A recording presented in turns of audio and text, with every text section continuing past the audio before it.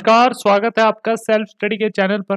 और आज हम अपनी इस वीडियो में डिस्कस करने वाले हैं कि पुरानी पेंशन योजना को फिर से लागू किया जाए, इसकी मांग होने लग गई है। अभी फ़िलहाल जो है एनपीएस यानी नेशनल पेंशन सिस्टम चलता है हमारे देश के अंदर। जैसे पुरानी पेंशन क्या होती थी कि जो जो गवर्नमेंट एम्प्लॉय हुआ करते थे, जब वो रिटायर होते थे तो जब तक उनकी डेथ नहीं हो जाती, तब तक सरकार उनको पैसे देगी तो वो एक तरीके से उसको कहते हैं पेंशन। अगर एक व्यक्ति जिसकी पेंशन बन गई है मतलब कि वो गवर्नमेंट जॉब में था, अब उसकी पेंशन आ रही है, अगर उसकी डेथ हो जाती है तो उसकी वाइफ को, अगर औरत थी तो उसके पति को जो है वो वहाँ पर पेंशन मिलनी लग जाती है। तो ये जो सिस्टम था ओल्ड पेंशन सिस्टम हुआ करता था। और इसको 2004 में भारत सरकार ने बंद कर दिया था। रीजन ये था क्योंकि इससे बहुत ज़्यादा बर्डन बढ़ रहा था, एक तरीके से बहुत ज़्यादा रुपया देना पड़ रहा था, जिसके करके यहाँ पर एनपीएस यानी नेशनल पेंशन सिस्टम को लागू किया गया था। तो आज हम इस वीडियो में जानेंगे कि अब ये क्यों वापस मांग उठ रही है कि पुरानी पेंशन योजना को लागू किया जाए। ऑब्वियसली सरकारी कर्मचारियों के लिए है ये। और साथ ही साथ आपको पता चलेगा कि नेशनल पेंशन सिस्टम ये सरकारी लोगों के लिए भी है और जो प्राइवेट है, उनके लिए भी है। बहुत इंपॉर्टेंट स्कीम है, जिसमें आप खुद चाहें तो अपना रिटायरमेंट प्लान यहाँ पर मतलब इन्वेस्टमेंट कर सकते हैं अपने रिटायरमेंट प्लान के लिए। बहुत बढ़िया अच्छा खासा अमाउंट आपको मिल जाता है और आपको समझाऊँगा इस चीज़ को मैं।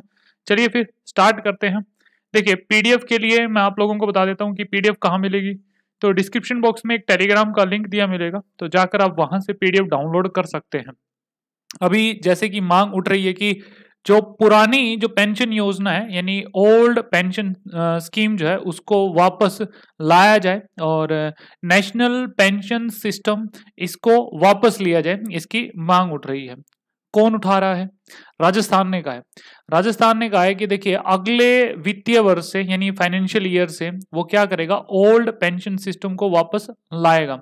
जो राजस्थान के जो चीफ मिनिस्टर हैं गहलोत जी, उन्होंने कहा है कि हम जो है जो क्रम, सरकारी कर्मचारी हैं, जिन्होंने इतने साल सरकार को दिए हैं, अपना काम कर करके उन्होंने इतना टाइम वहाँ पर बिताया है तो कहीं ना कहीं उनको कंट्रीब्यूशन दिया जाना चाहिए सरकार की तरफ़ से।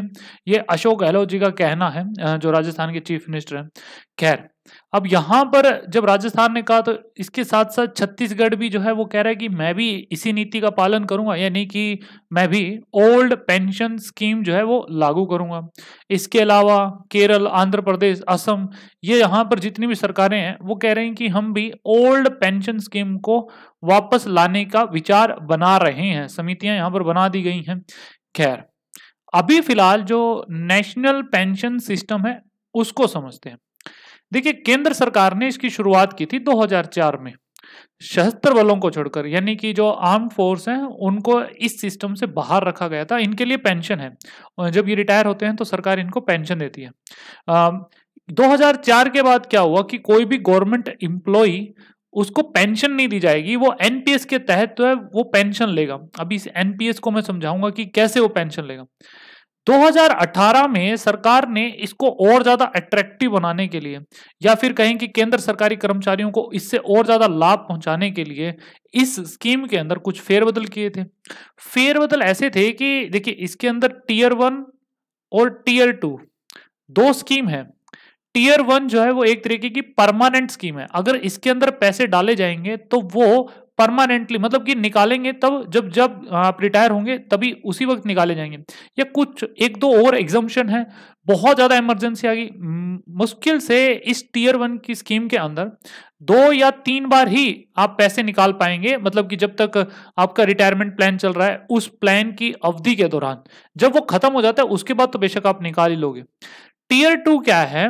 टीयर टू में आप एक म्यूचुअल फंड के तरीके से, ये टीयर टू इसमें आप पैसे डालिए, आपको ज़रूरत हो तो आप पैसे निकाल लीजिए। तो ये टीयर टू है।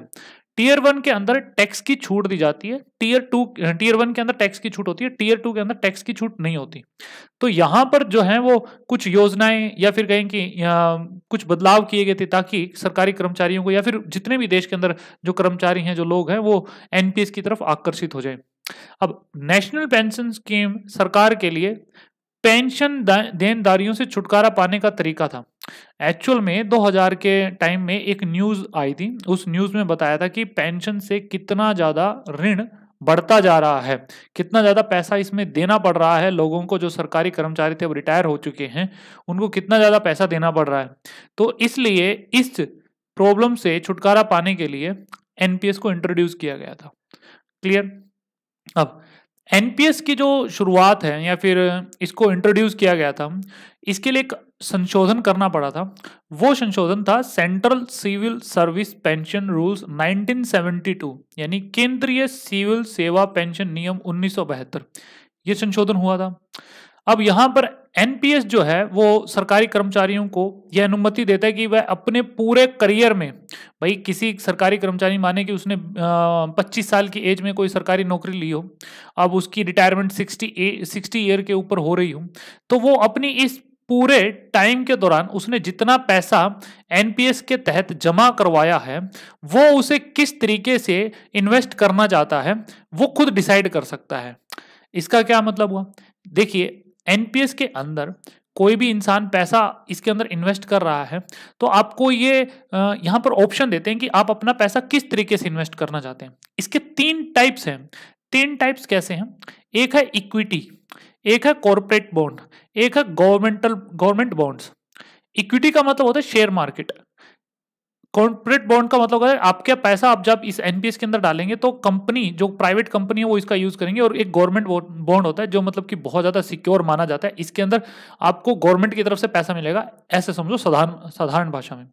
अब यह है कि आपने, आप सोचो कि 25 साल की एज में आपने पैसे जमा करने शुरू कर दिए। आपने कहा कि मैं अपनी सैलरी में से, देखिए इसमें 10 परसेंट स्टार्टिंग में दस था, लेकिन अब फोर्टीन परसेंट जो है वो सैलरी का आपको देना पड़ता है एनपीएस के अंदर।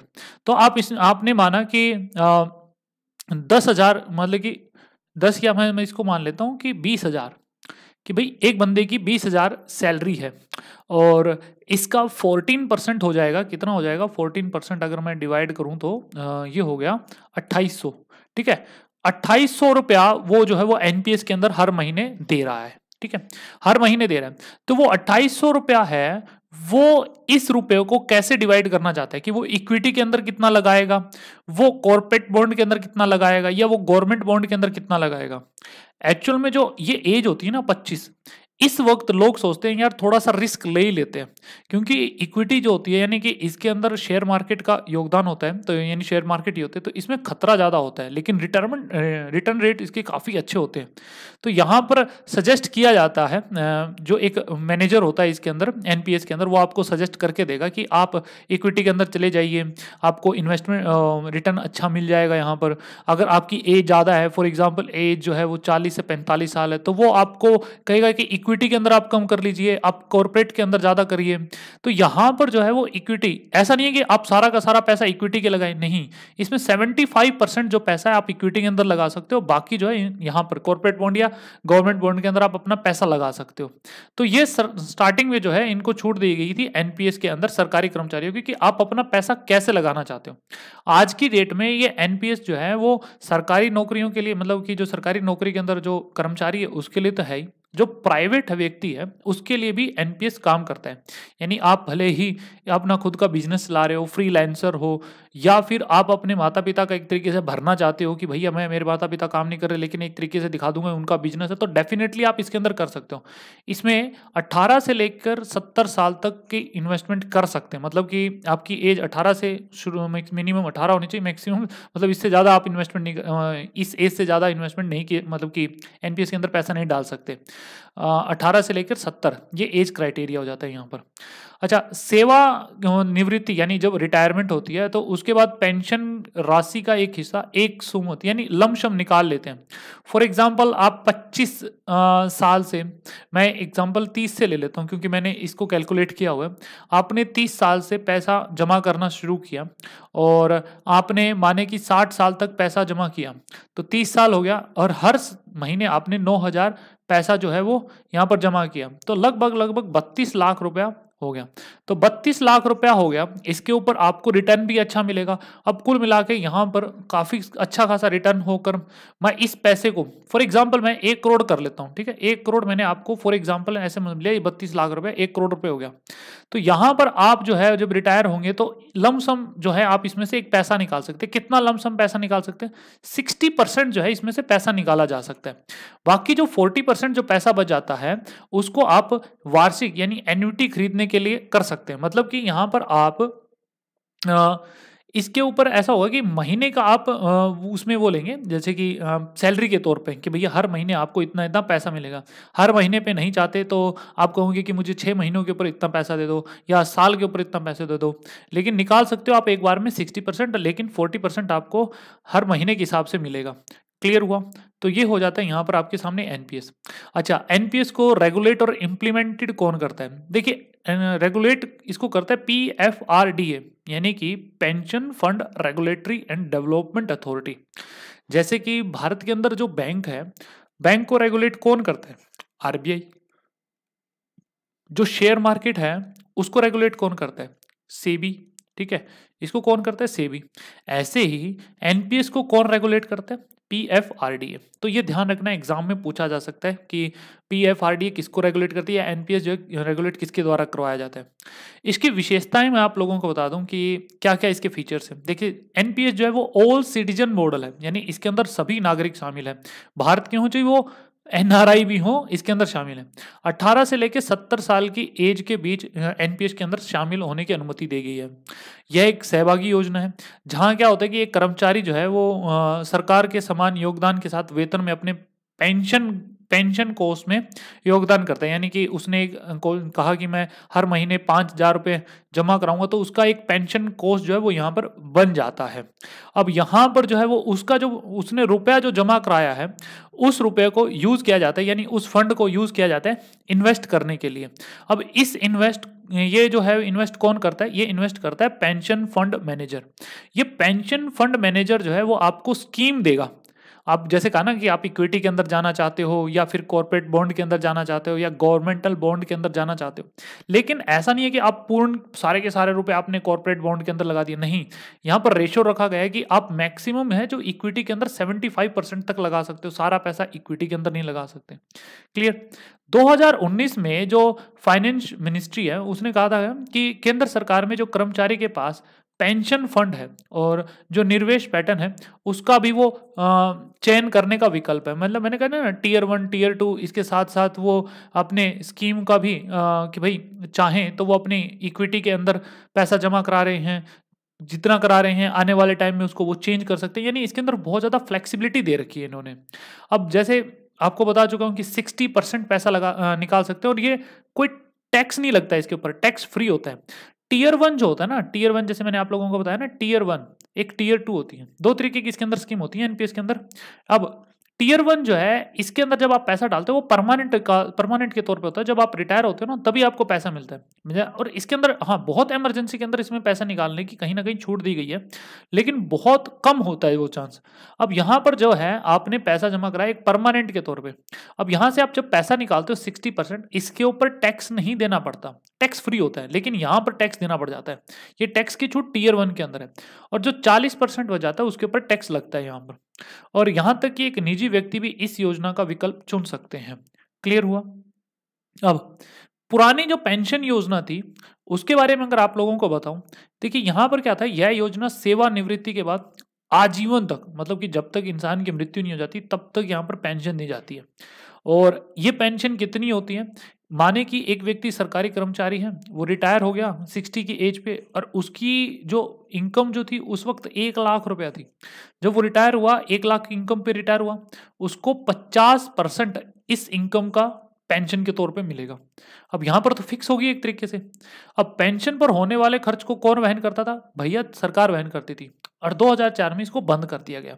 लेकिन यहाँ पर जो आर्म फोर्स है, उनके लिए चीज़ अभी भी चल रही है। ओल्ड पेंशन स्कीम उनके लिए चलती है। अब जो इकोनॉमिस्ट थे, उनका कहना था कि देखिए, एक व्यक्ति काफ़ी लंबी उम्र तक अगर जी रहा है तो उससे काफ़ी ज़्यादा बर्डन हो रहा है। फॉर एग्ज़ाम्पल अगर वो साठ की एज में रिटायर होता है और अस्सी साल तक अगर वो जीता है तो बीस साल तक आप सोचिए पचास पचास हज़ार रुपये अगर फॉर एग्ज़ाम्पल उसको पचास हज़ार की रिटायरमेंट मतलब कि एक लाख पे रिटायरमेंट हो गया। देखिए रिटायरमेंट काफ़ी ज़्यादा पैसे होते हैं, उस वक्त रिटायरमेंट होती है। तो मैं एक, अगर कहूँ कि पचास हज़ार उसकी सैलरी मतलब कि रिटायरमेंट हो रही है, पचास हज़ार उसको हर महीने मिल रहा है तो बीस साल तक उसको कितना मिलेगा? तो यहाँ पर कहीं ना कहीं बर्डन हो रहा है। साथ ही साथ अगर उस व्यक्ति की मौत हो जाती है तो उसकी पत्नी को मिलता है। तो यहाँ पर ओपीएस के अंदर ऐसी चीज़ें तो ऑलरेडी दे ही रखी हैं। अच्छा एक चीज़ और आपने सर एनपीएस बताया, उसके अंदर क्या ऐसा होता है कि अगर एक पति ने अपने, उसमें एनपीएस में पैसे डाले तो क्या पत्नी को मिलेगा? बेशक मिलेगा। पति की मृत्यु के बाद पत्नी को पैसा जाएगा। अगर पत्नी ने डालें तो पति को चला जाएगा। अगर दोनों की डेथ हो गई तो तो दोनों की डेथ होगी तो इसके अंदर एक नॉमिनी होता है कि आप अपने एक नॉमिनी चुन के जाइए कि वो पैसा उसको मिल जाएगा। एनपीएस के अंदर पैसे निकालने की भी स्कीम अलग है कि आप आप कितना पैसा निकाल लो, उसके बाद जो बच गया पैसा, उसको पेंशन के तौर पे हर महीने ले लो। इसके अंदर बहुत सारी स्कीम्स हैं। अब उनके लिए तो अलग वीडियो बनाऊँगा तो बहुत लेंथी बन जाएगी। तो एनपीएस एक काफ़ी अच्छी स्कीम है जो प्राइवेट अधिक प्राइवेट कर्मचारी हैं, उनके लिए ये बहुत बढ़िया स्कीम लगती है। आप जाके ऑनलाइन भी इसमें अपना अकाउंट ओपन कर सकते हैं या ऑफलाइन बैंक के अंदर भी जाकर इसके अंदर एस बैंक में या फिर और भी बहुत सारे बैंक्स हैं। प्राइवेट के लिए तो बहुत सारे बैंक्स अवेलेबल हैं। तो यहाँ पर जाके आप एनपीएस के तहत अपना इन्वेस्टमेंट कर सकते हैं। क्लियर अब राष्ट्रीय पेंशन प्रणाली से संबंधित मुद्दे, यानी कि नेशनल पेंशन सिस्टम से क्या क्या मुद्दे हो रहे हैं? देखिए, जो ओल्ड पेंशन स्कीम है ना, इसके अंदर जो सरकार कर्मचारी हैं, सरकारी कर्मचारियों के लिए थी, वहाँ पर उनको जो पेंशन मिलती थी, वो एक, जो उनके लिए फॉर्मूला था, वो निर्धारित था। और उनके लिए बाद में अगर महँगाई बढ़ रही है तो महँगाई राहत जो है वो उस, उनको साल में दो बार महँगाई राहत भी दी जाती है। मतलब उनकी पेंशन में वृद्धि हो जाती है, ऐसा समझो। और एक जनरल प्रोविडेंट फंड का भी उनको प्रावधान दिया गया था। देखिए जनरल प्रोविडेंट फंड एक तरीके से जीपीएफ जो है, वो टीयर टू के बराबर ही है। म्यूचुअल फंड के तरीके से समझो इसको, ठीक है? दोनों म्यूचुअल फंड के तरीके से ही है। तो ये नहीं कह सकता कि अब एनपीएस के अंदर जीपीएफ नहीं है। भैया जीपीएफ जो है वो टीयर टू ही है। क्लियर हालाँकि एनपीएस के जो कर्मचारी हैं उसको कितना देना पड़ता है? दस परसेंट जो है वो यहाँ पर अपना जमा कराना पड़ता है। फ़िलहाल इसकी जो लिमिट है वो चौदह परसेंट तक भी कर दी गई है। और यह कोई जो है वो जीपीएफ लाभ नहीं है। आ, मतलब कि अब यहाँ पर एक चीज़ समझनी है कि यहाँ पर जीपीएफ नहीं है लेकिन यहाँ टीयर टू है। साथ ही साथ एनपीएस के अंदर जो पैसा जाता है ना वो इक्विटी या कॉरपोरेट बॉन्ड्स या गवर्नमेंटल बॉन्ड्स उसके अंदर जाता है। तो वहाँ पर एक सैलरी या कहूँ कि एक पेंशन ना निर्धारित नहीं होती कि आप कहो कि जब मैं रिटायर होऊँगा तो क्या मुझे सत्तर हज़ार रुपये पर मंथ मिल जाएँगे क्या? वो डिपेंड करता है कि उस वक्त आपको रिटर्न कैसा मिला होगा। भाई शेयर मार्केट काफ़ी रिस्की होता है। कभी कभी आपको रिटर्न अच्छा दे देता है तो आपके पैसे बन गए वहाँ पर। कभी कभी नहीं मिलते तो पैसे जो है वो कम होने के चांसेस हो जाते हैं। तो इसलिए यहाँ पर आपको क्या होता है कि एक लास्ट में आप जब रिटायर होते हैं तो आपको कितना पैसा मिलेगा, इसमें डिसाइड नहीं होता। इसमें पता ही नहीं चल पाता। अनिश्चित होता है। लेकिन ओपीएस के अंदर ये निश्चित है। यानी ओल्ड ओल्ड पेंशन स्कीम के अंदर ये सब चीज़ें निश्चित हैं। अच्छा ये pension fund regulatory and development authority क्या है? तो देखिए एनपीएस को सही ढंग से चलाने के लिए कौन इसके लिए रूल बनाता है या फिर इसको चलाता है? तो वो P F R D A ही है। ठीक है? और ये जो है वो डिपार्टमेंट ऑफ़ फाइनेंशियल सर्विस के अंतर्गत काम करता है। इसके काम क्या होते हैं कि देखिए, जितने भी एजेंसीज हैं, जैसे पेंशन फंड मैनेजर हो गया सेंट्रल रिकॉर्ड कीपिंग एजेंसी हो गया तो इनकी नियुक्ति करना, इनका कार्य करना, ये सारे काम जो है वो P F R D A के द्वारा करवाया जाता है। अच्छा एन पी एस के तहत पेंशन उद्योग विकास, इसको बढ़ावा देना, उसको नियंत्रण करने का कार्य, अटल पेंशन योजना, इन सब का प्रबंधन जो है वो P F R D A के द्वारा किया जाता है। तो ये तो था नेशनल पेंशन स्कीम और ओल्ड पेंशन स्कीम। फ़िलहाल जो है राजस्थान सरकार ओल्ड पेंशन स्कीम जो है वो वापस अगले साल से, अगले वित्तीय वर्ष से इसको लागू करने जा रही है। ओब्वियसली जो सरकारी कर्मचारी है, उनके लिए तो खुशी की बात है, क्योंकि उनकी सैलरी से कोई पैसा कटेगा नहीं, सारा पैसा जो है वो एक तरीके से सरकार को देना पड़ेगा। तो उनके लिए कहीं ना कहीं राहत है, उनको लास्ट में जब रिटायर होंगे तो उनको डेफिनेटली एक फिक्स अमाउंट के तौर पे पेंशन दी जाएगी। वो वैसे खुश होंगे इससे। खैर, इस पर जानना होगा कि इससे कितना ज़्यादा ऋण बढ़ेगा या फिर कितनी ज़्यादा लाभदायक है, ये हमें जानने की बहुत ज़्यादा ज़रूरत है। खैर, अपने विचार आप रख सकते हैं कमेंट सेक्शन में। वीडियो पसंद आई है तो इसे लाइक करें, चैनल को सब्सक्राइब करें और आप लोगों को, मैं बता चुका हूँ कि पीडीएफ कहाँ मिलेगी तो डिस्क्रिप्शन बॉक्स में एक टेलीग्राम का लिंक दिया है तो वहाँ से आप लोग इस वीडियो की पीडीएफ डाउनलोड कर सकते हैं। साथ ही साथ शेयर कर सकते हैं वीडियो को एज वेल एज चैनल को। Thank you for watching this video